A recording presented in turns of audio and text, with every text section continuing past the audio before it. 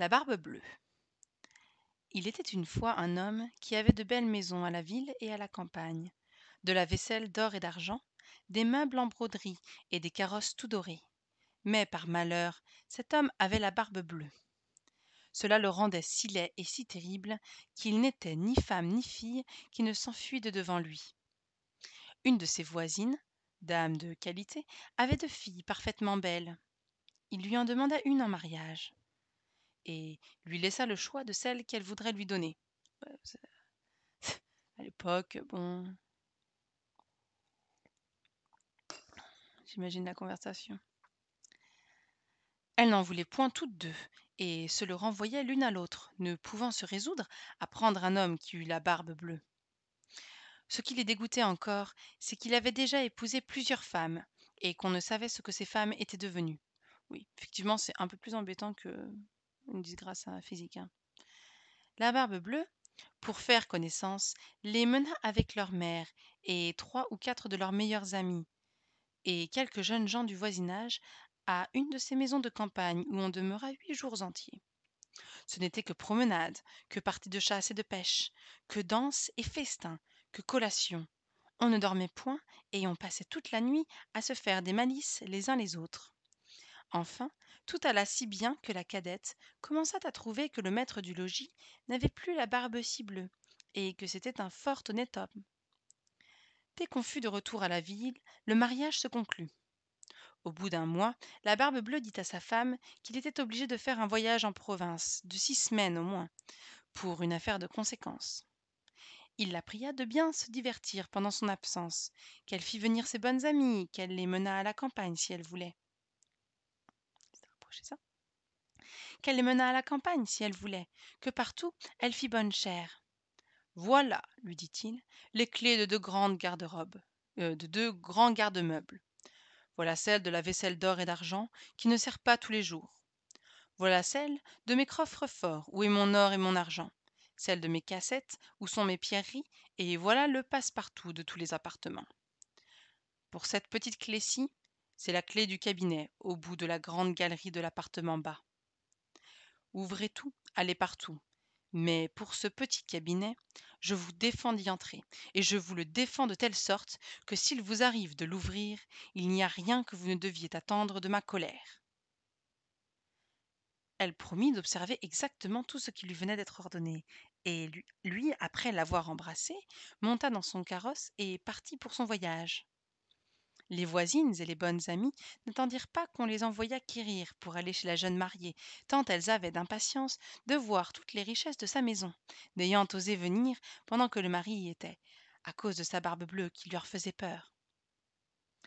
Les voilà aussitôt à parcourir les chambres, les cabinets, les garde-robes, toutes plus belles et plus riches les unes que les autres elles montèrent ensuite au garde-meuble où elles ne pouvaient assez admirer le nombre et la beauté des tapisseries des lits des sofas des cabinets des guéridons des tables et des miroirs où l'on se voyait depuis les pieds jusqu'à la tête et dont les bordures les unes de glace les autres d'argent et de vermeil doré étaient les plus belles et les plus magnifiques qu'on eût jamais vues elles ne cessaient d'exagérer et d'envier le bonheur de leur amie qui cependant ne se divertissait point à voir toutes ces richesses à cause de l'impatience qu'elle avait d'aller ouvrir le cabinet de l'appartement bas. Elle fut si pressée de sa curiosité que sans considérer qu'il était malhonnête de quitter sa compagnie elle y descendit par un petit escalier dérobé et avec tant de précipitation qu'elle pensa se rompre le cou deux ou trois fois. Étant arrivée à la porte du cabinet elle s'y arrêta quelque temps songeant à la défense que son mari lui avait faite et considérant qu'il pourrait lui arriver malheur d'avoir été désobéissante. Mais la tentation était si forte qu'elle ne put la surmonter.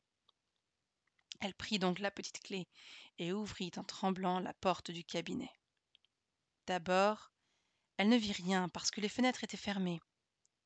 Après quelques moments elle commença à voir que le plancher était tout couvert de sang caillé et que dans ce sang se miraient les corps de plusieurs femmes mortes et attachées le long des murs. C'étaient toutes les femmes que, la, que barbe-bleue avait épousées et qu'il avait égorgées l'une après l'autre. Elle pensa mourir de peur et la clef du cabinet qu'elle venait de retirer de la serrure lui tomba de la main. Après avoir un peu repris de ses esprits, elle ramassa la clé, referma la porte et monta à la chambre pour se remettre un peu. Mais elle n'en pouvait venir à bout tant elle était émue.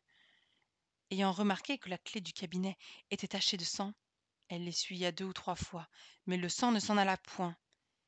Elle eut beau la laver et même la frotter avec du savon et du grès, il y demeura toujours du sang, car la clé était faite et il n'y avait pas moyen de la nettoyer tout à fait. Quand on ôtait le sang d'un côté, il revenait de l'autre. La barbe bleue revint de son voyage dès le soir même, et dit qu'il avait reçu des lettres dans le chemin qui lui avaient appris que l'affaire pour laquelle il était parti venait d'être terminée à son avantage.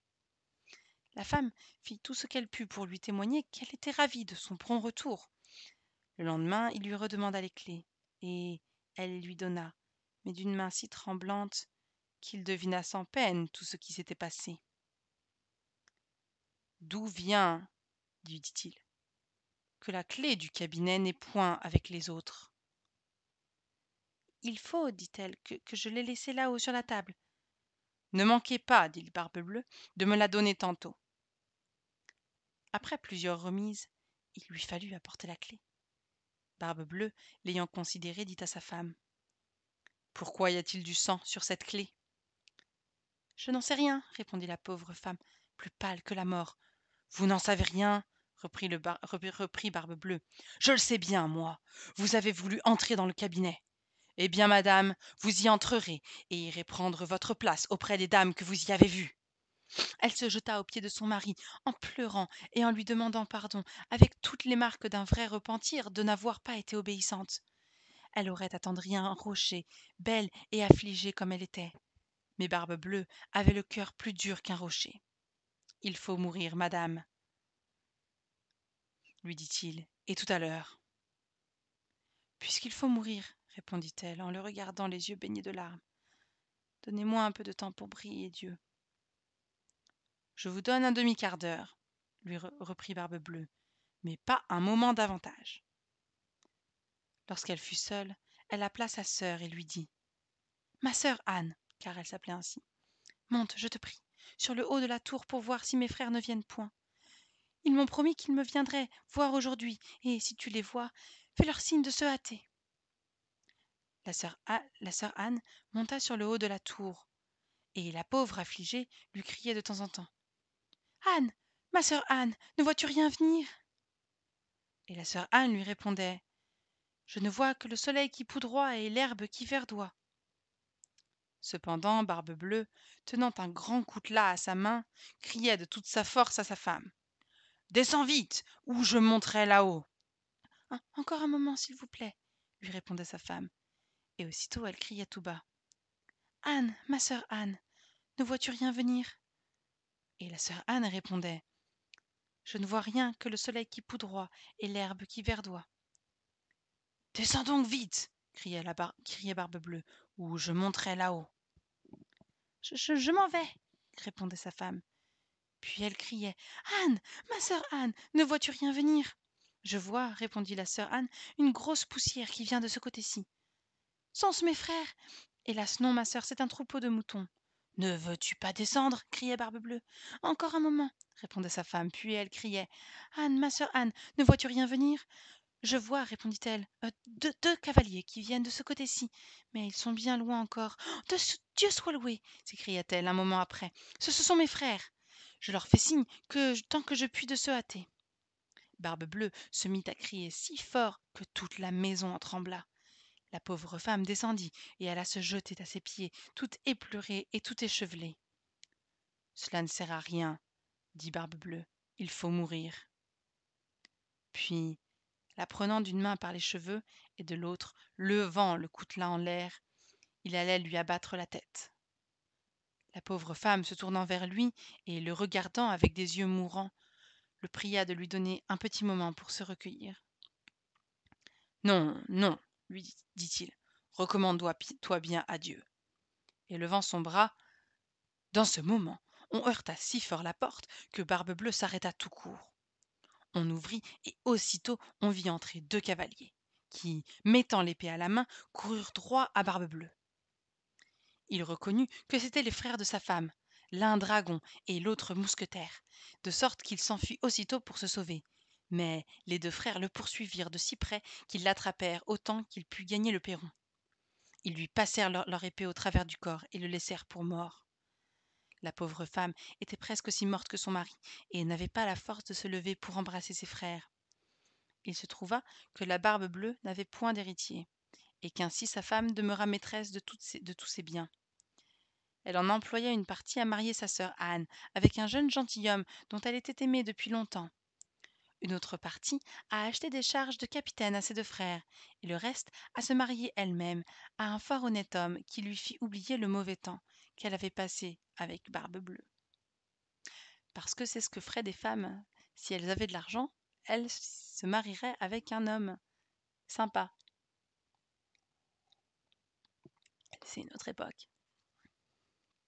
Moralité. La curiosité, malgré tous ses attraits, coûte bien souvent des regrets. On en voit tous les jours mille exemples paraître. C'est, n'en déplaise au sexe, un plaisir bien léger. Dès qu'on le prend, il cesse d'être, et toujours il coûte trop cher. Autre moralité. Pour peu qu'on ait l'esprit sensé, et que du monde on sache le grimoire, on voit bientôt que cette histoire est un conte du temps passé.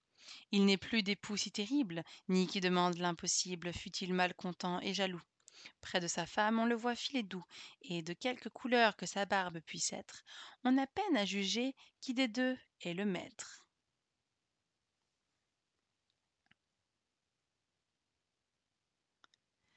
Voilà, donc c'était Barbe Bleue. Euh, donc la, la, moralité euh, étant justement que les, femmes sont trop curieuses et que, euh, le peu de plaisir qu'elles ont d'avoir leur curiosité assouvie est, en fait pas suffisamment important com- com- comparé aux ennuis qu'elles risquent d'avoir.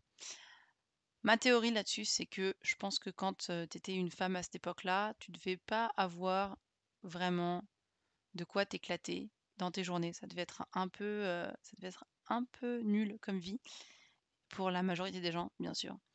Et donc je pense qu'effectivement, ouais, les, je pense qu'une des raisons pour lesquelles les filles avaient un peu cette réputation d'être curieuses, c'est que bah ouais, quand t'as quand t'as une, vie à passer à faire des lessives et, la cuisine, euh, bah je pense que ouais, le moindre changement, en fait, tu t'y intéresses vachement plus que si t'as une vie remplie euh, comme euh, ce qu'avaient les hommes, bah peut-être qu'effectivement tu considères que que c'est de la curiosité mal placée. C'est ma, théorie, ma théorie de comptoir. Et sur ce, eh bien, je vais arrêter là. On a fait deux comptes, ça fait 40 minutes. Et puis, il me reste encore, il reste il me reste quelques contes. Perrault, il n'a pas écrit tant de contes que ça, en fait. hein. Il doit rester le chaboté, le petit chaperon rouge, la belle au bois dormant et Podane. Je sais pas si je lirai les plus connus, puisque c'est pas forcément ceux qui m'intéressent le plus. J'avoue que le chaboté et Podane, que j'aime beaucoup, je vais peut-être les lire. Mais Podane, je sais pas. En fait, j'ai certains contes en vers et certains contes en prose. Et en fait, je lis les contes en prose parce que les contes en vers, je sais enfin, je sais pas du tout comment les lire et je sais pas du tout ce que ça donnerait. Peut-être que j'essaierai Podane, j'ai pas le sentiment que je l'ai en prose, je pense que je l'ai qu'en vers. Donc je sais pas si je le lirai, après, bon après je peux essayer pour, hein, on verra. Mais voilà. Et puis ce que je me dis aussi, c'est que alors je sais pas si je le finirai, mais j'ai très envie de lire soit, Le Comte de Monte Cristo que j'ai déjà lu et qui fait partie de mes livres, préférés. Ou alors, heu, 20 milieux sous les mers, que par contre je n'ai jamais lu, heu, mais qui fait partie des classiques. Le problème avec Jules Verne, c'est que Jules Verne, il y en a que j'ai beaucoup aimé, genre, Le Tour du monde en 80 jours, j'ai adoré et il y en a que j'ai pas du tout aimé j'avais notamment essayé Le Château des Carpates, et je crois un autre livre dont je je sais plus lequel j'avais essayé et j'avais trouvé que c'était vraiment lent, quoi. Donc, je ne sais pas, mais je pense que je commencerai un de ces 2-là. Heu, après, j'avoue que c'est vraiment pas sûr que je les finisse, sauf si, vraiment je m'accroche, parce que c'est des livres qui sont juste fleuves, quoi. Donc, voilà, mais ça ce serait sympa pour passer le temps, en tout cas. Sur ce, et ben, moi, je vous dis, bonne journée, bon après-midi et puis à bientôt. Ciao!